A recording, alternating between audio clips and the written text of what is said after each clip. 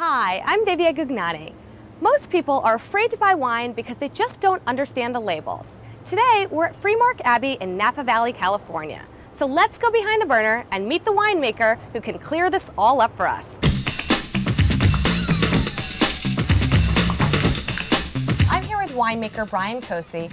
Brian, people have difficulty understanding wine labels. What's the first thing you look for? First thing I look for is an open bottle of wine. That's a good thing to look for.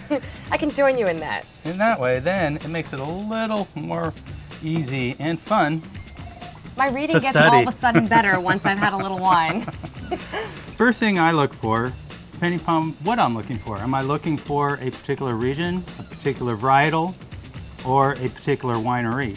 So here, if I was looking for a particular uh, varietal, I would look right here for Viognier or Cabernet. So that's the grape, basically. That's the grape. You're looking at the varietal, the grape. But So- does it have to be all that grape? No, not necessarily. This Viognier just happens to be 100%, but this Cabernet is roughly about 10% Merlot in that Cabernet.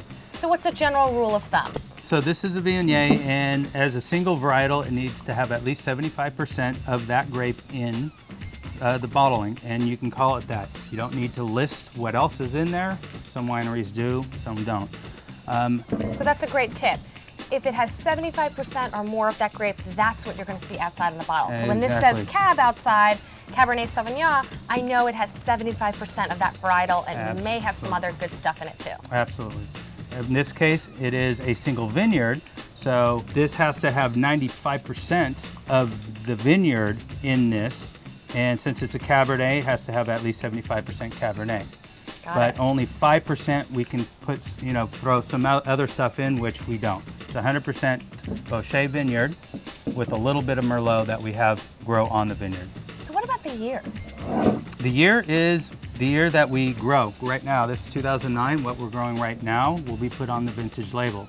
So when we pick it this fall, we'll ferment it, put it in the barrel. Once it's done fermenting, we declare it, and that's when it becomes 2009. Okay, great. So that the tip for our viewers is that the year on the bottle is the year the grapes were grown. What is this thing I hear about AVA? AVA. Okay, this is a single um, appellation wine from Rutherford AVA, uh, American Viticultural Area. Rutherford's a great growing area. Both of these are from Rutherford. Difference between these two is this is a single vineyard, has to have 95% in this bottle of that vineyard.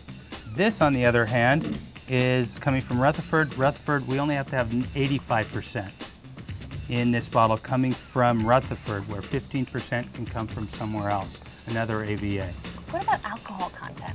Alcohol, What am I looking for? The greatest content possible? And my wines, I like them balanced. Reds at about 14%, whites just above 13, 13.5. The higher the alcohol, the more they may may be become out of balance. Some wines are very balanced with higher alcohols, but it depends on the wine. On a food side, I don't like to drink high alcohol wines, and that's why the wines I make here at Freemark Abbey, they're all very uh, alcohol is well in checked. Um, What are roughly the percentages you see in wine in terms of alcohol? Our alcohols, our, our whites are, you know, um, 13.8, um, 14.2, and our reds, um, our single vineyards, 13 8 14 1 and some of the calves are, are e- easing up to now about 14 5 at the top. One of the great tips that you gave us was that when you're pairing your wine with your food, you want to tend to take something that has a little bit less alcohol in it.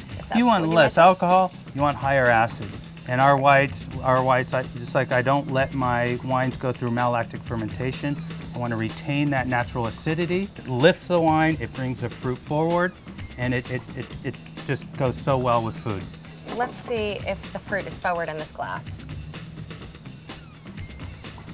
It's a beautiful bouquet. A really nice finish as well. This is some good Right. winemaking, Brian. Thank you. now I just need some uh, seared scallops on a bed of wilted leeks. I know that would be nice. Anything else I'm missing on the bottle? Oh, well, you know, the old government standard warning. You can't miss that, right? well, thanks so much, Brian, for having us. Cheers. So cheers. Thank you for coming. Stay tuned behind the burner, where we give you the tips, tricks, and techniques that are lighting the culinary world on fire.